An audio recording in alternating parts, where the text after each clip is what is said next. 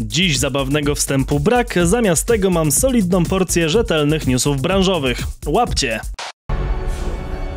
Przed kilkoma dniami internet obiegła pogłoska, jakoby na czerwcowym pokazie Xbox Games Showcase zaprezentowana miała zostać nowa odsłona serii Doom.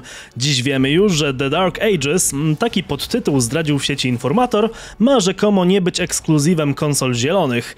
Mimo, że studio ID Software należy do Microsoftu, najnowszy Doom ma trafić na PC, PlayStation 5 oraz Xboxy Series X i S. Bądźmy dumni z tej walki. Firma Bandai Namco udostępniła świeży materiał z Lidią Sobieską. Lorowa polska pani premier pokazuje na nim, co może zrobić dla Polaków.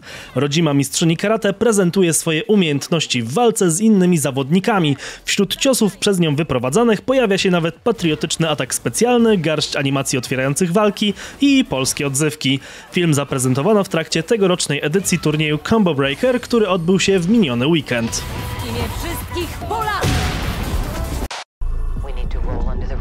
Rodziny ofiar, które przed dwoma laty zginęły w szkolnej strzelaninie w Teksasie, pozwały Activision oraz Metę za rolę, jaką firmy miały odgrywać w promowaniu broni użytej podczas tragicznych zdarzeń.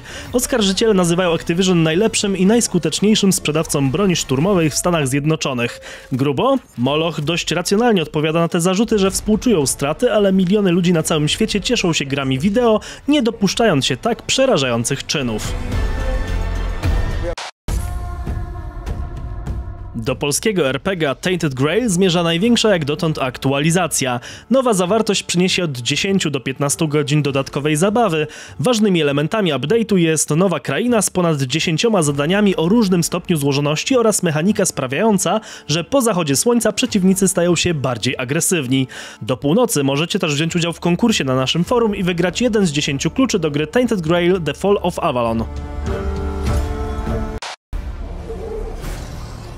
Po 8 miesiącach obecności we wczesnym dostępie zadebiutowała pełna wersja gry Wizardy Proving Ground of the Mad Overlord. To remake RPG wydanego w 1981 roku, w którym tworzymy sześcioosobową drużynę, eksplorujemy lochy, zbieramy skarby i stawiamy czoła wielu przeciwnikom ze złym czarodziejem na czele. Nie dajcie się zwieść odświeżonej grafice. To wciąż oldschoolowa produkcja, w której na porządku dziennym są śmiertelne pułapki i niemożliwe do wygrania starcia. Przedwczoraj odkryty został profil gry Deadlock, niezapowiedzianej do tej pory strzelanki sieciowej od Valve, zdradzający graczy uczestniczących w zamkniętych testach. W piku przy tej produkcji bawiło się prawie 900 osób. Z danych wynika też, że wczesna grywalna wersja Deadlocka istniała już w 2020 roku, a podczas rozgrywki wcielimy się w jedną z 25 postaci. Wciąż jednak nie wiemy, kiedy Deadlock doczeka się oficjalnej zapowiedzi. To wszystko, co przygotowałem dla Was dzisiejszego dnia. Życzę Wam dobrego wieczoru, nie grajcie za długo i wyśpijcie się, bo jutro też jest dzień i też grać można.